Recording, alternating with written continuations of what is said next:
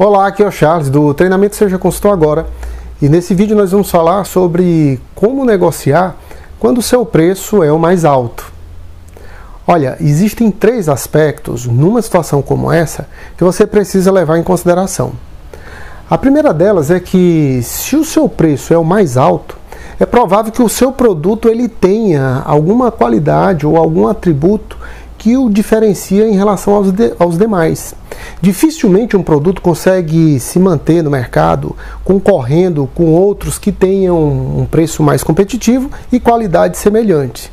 Então, se o seu produto está no mercado e você tem o preço mais alto do segmento, é provável que alguma qualidade, algum atributo no seu produto o destaca, o diferencia em relação aos outros concorrentes.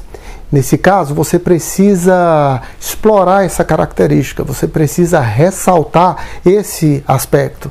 Tenta colocar o foco da negociação nos atributos do seu produto e não no preço. Tenta afastar o máximo que você puder da discussão sobre o preço e tenta focalizar, claro, a discussão na naquele aspecto que diferencia o seu produto em relação aos outros concorrentes. Então, esse é um aspecto que você precisa levar em consideração. Outra coisa que você tem que pensar é que aquele cara que está negociando com você, o seu oponente na negociação, especialmente se você estiver tratando com alguém que seja da área de compras, esse cara ele foi treinado para pedir descontos. É claro que faz parte da rotina dele negociar pedindo desconto, tentando reduzir o preço, melhorar as condições de pagamento. E muitas vezes tudo que ele precisa é um pequeno desconto ali para para ele se sentir com a sensação de missão cumprida.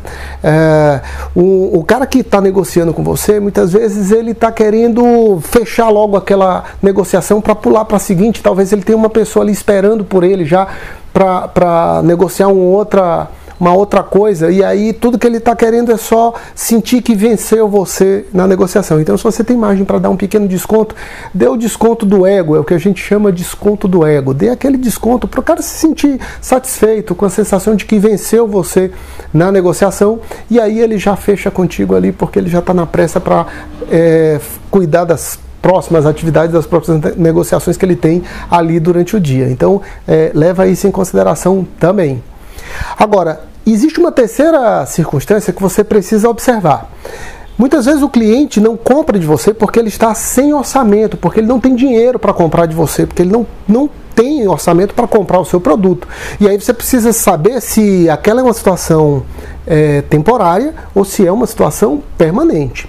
Se for uma situação temporária, isso significa dizer que o cliente passou por algum problema, de repente ele teve lá um problema de saúde, não sei, ou talvez é, teve algum prejuízo com inadimplência, um incêndio, sei lá, alguma coisa aconteceu e deixou ele numa situação difícil. E se você tem a possibilidade de ajudar esse cliente nesse momento difícil, talvez dando um, um, um desconto ou uma condição absolutamente excepcional, respeitando aquela situação que o cliente está vivendo naquele momento, olha, isso pode te dar a possibilidade de gerar uma grande fidelidade desse cliente no futuro, porque ele vai lembrar lá adiante que no momento que ele mais precisou, você o ajudou, você fez uma condição absolutamente especial para ajudá-lo mesmo e ele vai ficar com a dívida de gratidão em relação a, você. E isso em negócios é importantíssimo, porque ele vai preferir você a qualquer outro, embora o seu preço seja o mais alto, porque ele sabe que pode contar com você. Então vale a pena pagar mais, porque ele tem a sua é, colaboração, ele sabe que pode contar com você se em algum momento ele vier a precisar. Então essa situação ela é extremamente positiva se você souber aproveitar tá? e, e é, tiver, é claro, a chance e a possibilidade de ajudar o seu cliente. Então, Observa isso daí.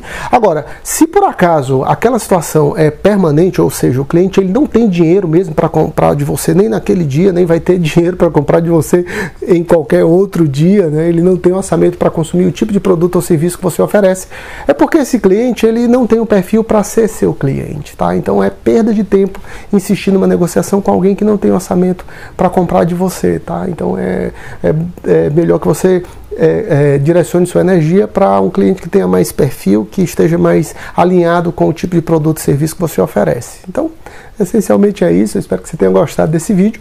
E se você não conhece o meu treinamento de formação de consultores, aqui na descrição desse vídeo tem um link que vai te levar direto lá para conhecer o meu treinamento, onde eu ensino através de um passo a passo bem simples tudo que você precisa saber para se tornar consultor empresarial e viver integralmente da consultoria. Por hoje era isso. Muito obrigado, um grande abraço e até a próxima.